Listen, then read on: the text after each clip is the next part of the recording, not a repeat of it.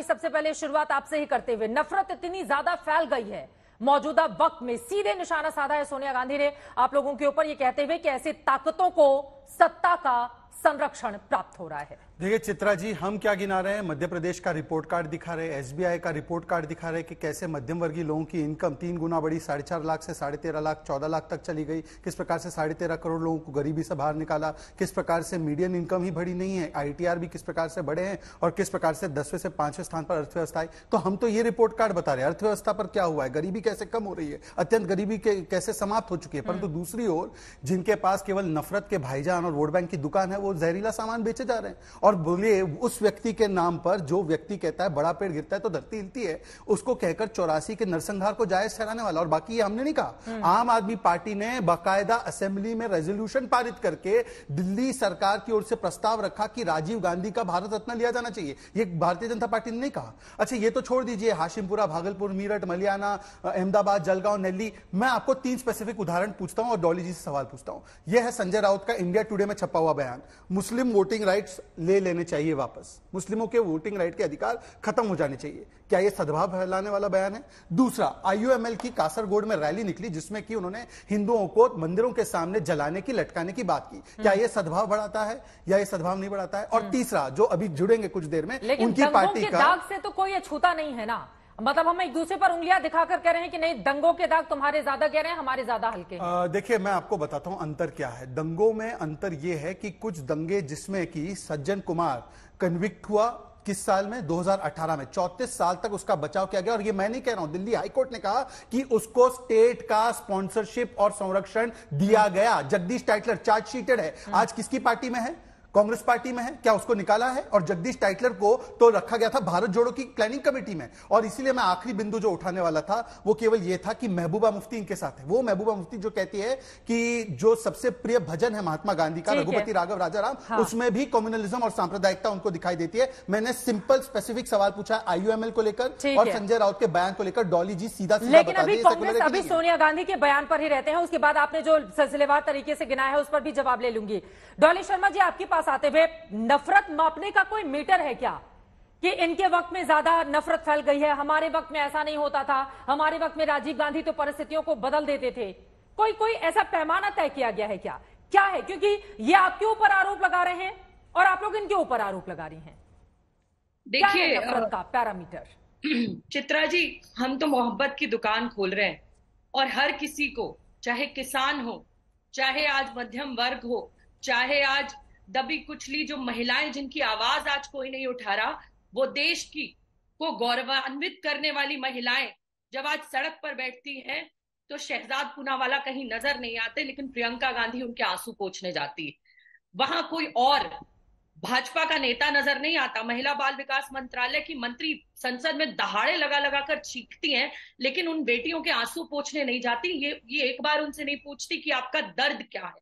देखिए मोदी सरकार में ये बात तो सच है कि जिस तरीके से आपसी सद्भाव को चोट लगी है वो सब देख रहे हैं। मणिपुर हम्म। और नुह इसका ताज़ा एग्ज़ाम्पल है।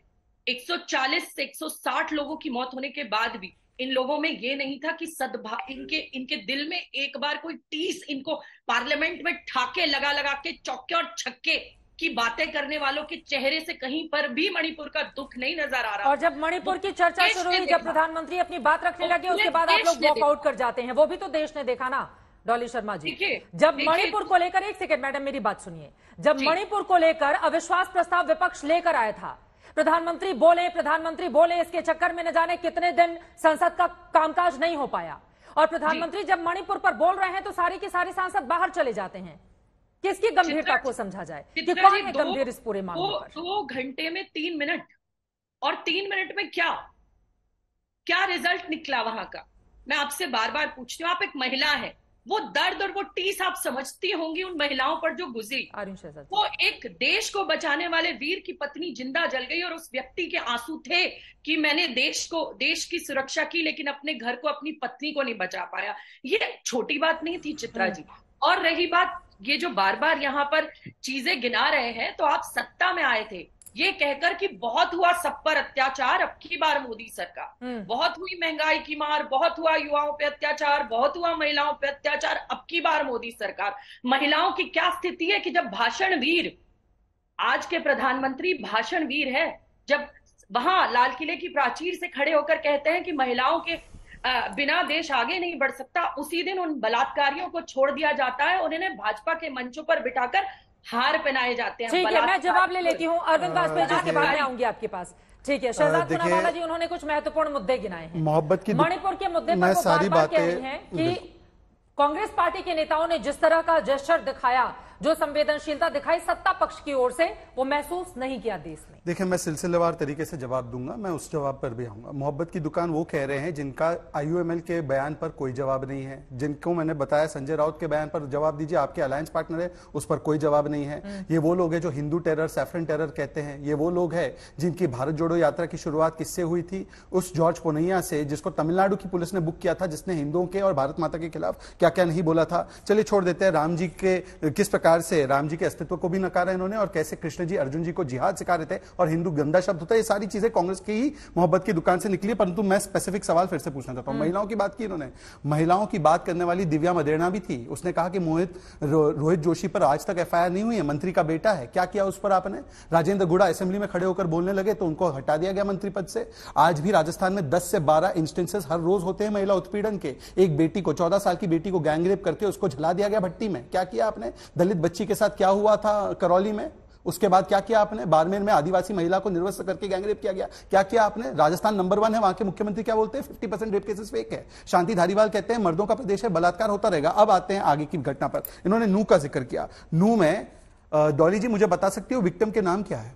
छह लोग की दुर्भाग्यपूर्ण तरीके से मृत्यु हुई। उनके नाम है प्रदीप शर्मा, अभिषेक राजपूत, शक्ति, गुरुसेवक नीरज और मौलाना हाफिज साद। पर दोष किस पर डाला? केवल दोष डाला उन दो लोगों पर।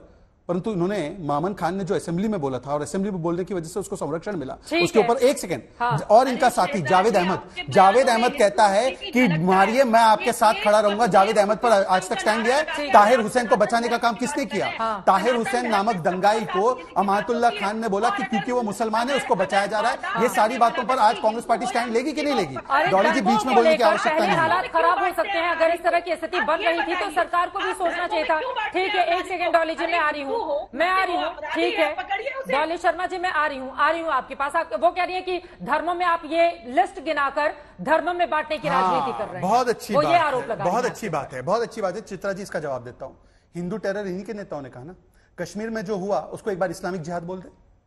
कश्मीर में रलीफ सलीफ गलीफ के नारे मस्जिदों से निकले और वहाँ पर 10 वर्षों में वहाँ पर सारे हिंदुओं को खदेड़ा गया बलात्कार हुआ क्या एक भी बार उनकी आवाज़ निकली? क्या टिक्कू जी के लिए आवाज़ निकली? क्या वहाँ पर जो आरी से काट कर उसका गैंगरेप कर दिया गया क्या शीला भट्ट जी के शहजाद स्टूडियो में बोलेंगे फिर आपकी आवाज़ साफ़ नहीं हो पाएगी। एक बार इनकी बात हो जाए उसके बाद आप बोलिएगा प्लीज़ दोनों लोग बोलेंगे समझ में नहीं आएगा। मैं केवल एक ही चीज़ कह रहा हूँ। इन्होंने हिंदू टेरर तो बहुत बार कहा है हम्म। हालाँकि वो कभी साबित नहीं हुआ। कश्मीर में जो नरसंहार 80 से लेकर 90 के दशक के बीच में हुआ जिसमें कि शारदा भट्ट से लेकर कहीं महिलाओं को गैंगरेप किया गया काटा गया मारा गया और रलीफ सलीफ गलीफ के नारे लगे क्या एक भी बार कांग्रेस ने इसको अधिकृत रूप से इस्लामिक जिहाद कहा है क्या? कह दीजिए एक बार मैं आपको चुनौती देता हूँ। हम्म।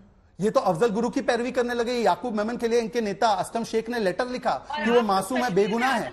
ये उनकी मानसिकता है। हिंदुओं के किस प्रकार से बार बार अपमान करने के लिए राम जी के अस्तित्व को नकारने का काम। कभी और किसी धर्म के लिए ऐसा बोलेंगे क्या?